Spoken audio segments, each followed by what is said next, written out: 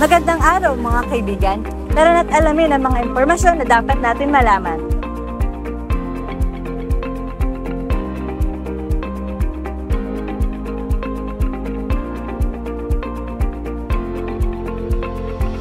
Sa pag-usbong ng mainit na panahon, hindi lang tayo naapektuhan, kundi ang ating ring kagubatan. Ang mga kagubatan ay isa sa mga pinakamahalagang bahagi ng ating ekosistema. Subalit, ito rin ang isa sa mga pinaka-naapektuhan ng pagbabago sa klima.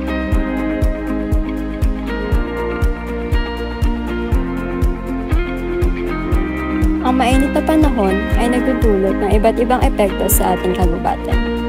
Kasama na rito ang pagtaas ng panganib ng sunog, pagkawasak ng habitat ng mga hayop, pagbawas ng biodiversity, at pagkukulang sa supply ng tubig.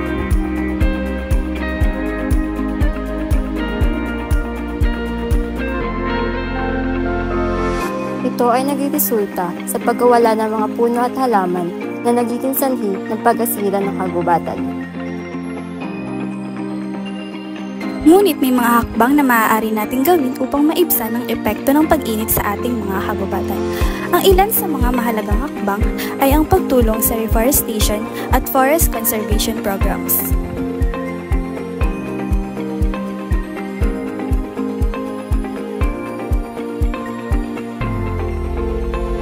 Sa pamagitan ng pagtatanim ng mga puno at pagpapalakas ng mga natural na habitat, maaari nating mapanatili ang kalusugan ng ating mga kagubatan.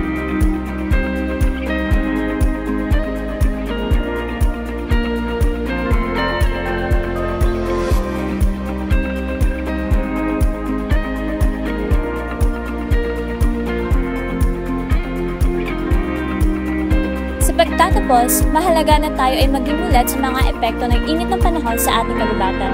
Ang pagkilos at pagkakaisa ay mahalaga upang pangalagaan ang ating likas na yaman.